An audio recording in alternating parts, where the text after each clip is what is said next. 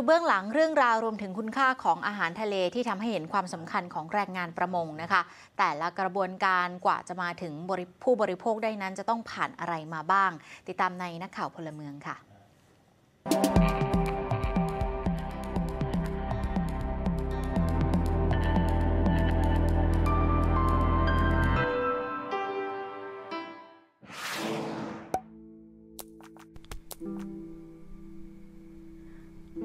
รู้ไหมว่าคุณค่าของอาหารทะเลจานโปรดของคุณ อยู่ที่ไหน ผู้บริโภคบริโภคอาหารทะเลเนี่ยเราก็รู้สึกว่าเราอยากได้อาหารทะเลที่สดถูกแล้วก็ปลอดภัยถูกไหมคะ ถ้าเรามานั่งสังเกตดูดีๆเนี่ยค่ะมีผู้บริโภคกี่คนที่เข้าใจในเรื่องของที่มาของอาหารทะเลว่ามาได้อย่างไรนะคะ แล้วกว่าจะได้อาหารมาหนึ่งจานให้เรากิน รู้ไหมว่ามันจะต้องผ่านอะไรบ้าง เราอาจจะบอกว่า ก็ไปตลาดแล้วก็ซื้อมาไง ออกจะง่าย แต่ในความเป็นจริง มันไม่ได้มีเพียงแค่นั้น ก่อนที่สินค้าจะมาถึงตลาด จะต้องผ่านการผ่านส่ง จากโรงงานอุตสาหกรรมที่ทำการแปรรูปอาหารทะเล ที่ได้รับมาจากท่าเรือ หรือตลาดค้าปลา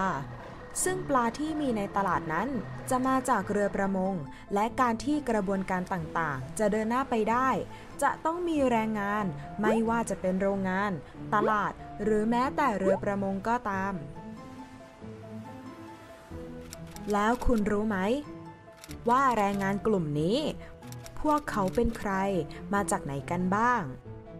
ฝั่งตะวันตกก็จะเป็นลูกเรือจากพม่าจะเป็นส่วนมาก ฝั่งตะวันออกก็จะเป็นลูกเรือจากกัมพูชาครับภาคใต้อย่างสงขลาหรือปัตตานีเนี่ยลูกเรืออาจจะก้ากึ่งกันระหว่างเมียนมากับกัมพูชา ที่สุราษฎร์และนครศรีธรรมราชเนี่ยลูกเรือส่วนใหญ่นะเป็นคนไทย ในปัจจุบันก็มีการพูดถึงกฎหมายต่าง ว่าแรงงานข้ามชาติ ในงานอุตสาหกรรมจะใช้กฎหมายเดียวกัน กับกฎหมายแรงงานไทย คือกฎหมายคุ้มครองแรงงาน พศ 2541 กฎหมายประกันสังคม และกองทุนทดแทน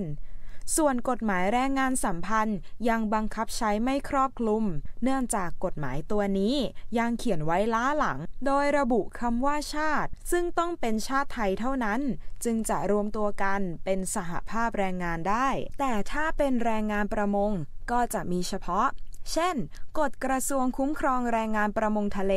และพรบการประมง การดูแลลูกเรือคำว่าดูแลในความหมายของเราเนี่ยคือเราใช้การควบคุมการใช้ลูกเรือ 1 คือต้องถูกกฎหมาย 2 ก็คือแม้ว่าถูกกฎหมายแล้ว แต่เขาเหล่านั้นเนี่ยจะต้องมาทำงานโดยสมัครใจ แล้วก็หลังจากนั้นก็คือกำหนดหลักเกณฑ์ต่างๆ ให้การใช้งานหรือการทำงานในเรือประมง มันไม่เกิดภาวะตรากต่ำจนเกินไปนัก เราจะเห็นได้ว่าปัจจุบันนี้เนี่ยยังมีการทำประมงแบบผิดกฎหมาย เพราะฉะนั้นเราจะต้องรู้ว่าที่มาที่ไปเนี่ยมัน ไปละเมิดสิทธิของแรงงานอย่างไรนะคะแล้วก็อาหารเหล่านี้เนี่ยปลอดภัยจริงไหมหรือมีกรรมวิธีในการจับปลาที่ไม่รับผิดชอบอะคะ่ะเราไม่ได้คิดว่าเอ๊ะการที่เรากินปูไข่ หรือเรากินปลาที่กำลังมีไข่อยู่เนี่ยมันทำให้ปริมาณของทรัพยากรอาหารทะเลเนี่ยมันลดลงนะคะเพราะฉะนั้นสิ่งที่ผู้บริโภคจะต้องเข้าใจก็คือว่า เราจะต้องไม่ไม่คิดเพียงแค่ว่า